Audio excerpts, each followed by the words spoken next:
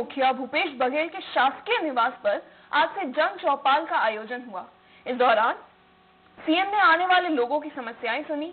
जन चौपाल में पहुँचने वालों को सबसे पहले रजिस्ट्रेशन कर एक नंबर दिया गया। उस नंबर के आधार पर लोगों को प्रवेश हुआ।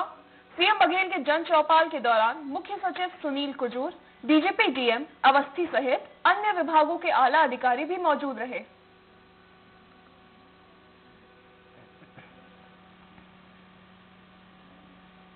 के बाद सीएम हाउस में इस प्रकार से नई सरकार बनने के बाद पहला आयोजन है और इसमें हज़ारों लोग आए हैं।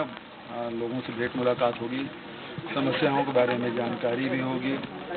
बरसात भी शुरू हो गया, सावन का महीना लग गया है। लोग खेती किसानी में भी लगे हैं। तो प्रदेश भर के लोगों से मुलाकात करके जानकारी हम लोग लेंगे।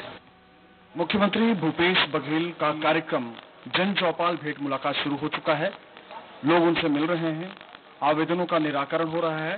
सिक्योरिटी टाइट है बहुत ज़्यादा, क्योंकि कोई ऐसी घटना ना हो जो अप्रिय हो। लिहाजा सिक्योरिटी मुस्तैद है और सिक्योरिटी वाले एक एक करके सभी आवेदकों को भेज रहे हैं और सभी आवेदक जा जाके अपनी जो, अपना जो आवेदन है वो दे रहे हैं और संबंधित विभाग को ट्रांसफ़र किया जा रहा है। महत्वपूर्ण चीज़ ये है कि एक सॉफ्टवेयर डेवलप किया गया है इसी चौपाल के लिए जिसमें तमाम लोगों से जो आवेदन लिए जा रहे हैं उसकी लाइव स्टेटस लगातार उनको जानने को मिलेगी। आप क्या आवेदन लेकर विधानसभा थाना द्वारा ना ठीक से कार्रवाई नहीं किया जा रहा है। अच्छा आपने कुछ शिकायत की थी? एक साल हो गया। क्या उम्मीद? अब मुख्यमंत्री जी से उम्मीद लगा के आए कहाँ से आए सड्डू विधान। अच्छा अभी क्या महत्वपूर्ण है। जीरम घाटी से संबंधित है। योग्यता स्वास्थ्य सर्विस के लिए हम लोग आवेदन दिए थे। मुख्यमंत्री ने स्वयं दिलवाया था रमन को। और रमन अब बघेल जी स्वयं बन गए मुख्यमंत्री तो पुनः आवेदन देने आया हूँ। हाँ कुछ महिलाएँ भी हैं महिलाओं से बातचीत करते हैं। आप लोग क्या आवेदन लेके पहुँचे? मकान के लिए सर। कहाँ पे? मकान के लिए कहीं भी दें हम लोग को किराए से रहते हैं। सर इतना परेशानी किराया देने की ऐसा ऐसे नहीं। आवेदन नहीं किया था मकान के लिए? आवेदन कर चुके हैं दो साल से आवेदन कर रहे हैं। कितना व्हाइट हाउस से चक्कर लगाए क्या बता पंद्रह दिन का था तब से मैं लगातार दौड़ रही हूँ। लेकिन कोई सुनाई नहीं है सर। तो कोई सुनवाई नहीं हो रही है इसलिए सीएम के पास पहुँचे हैं।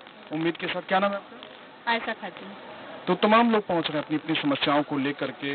कोई विकास के कामों को लेकर के पहुँच रहा है, कोई व्यक्तिगत समस्याओं को लेकर के पहुँच रहा है, और ये कार्यक्रम लगातार मुख्यमंत्री भूपेश बघेल का चलेगा, हर हफ़्ते चलेगा, इसकी शुरुआत है। हालाँकि शुरुआत में कुछ व्यवस्थागत खामियाँ ज़रूर नज़र आई, लेकिन वक्त रहते उनको दुरुस्त कर लिया जाएगा, ऐसा सरकार के अधिकारी कहते हैं।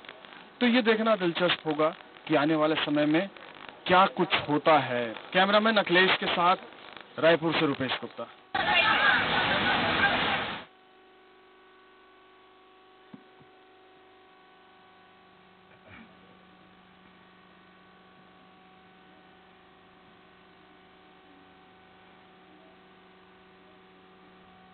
बुरहानपुर में तेज बारिश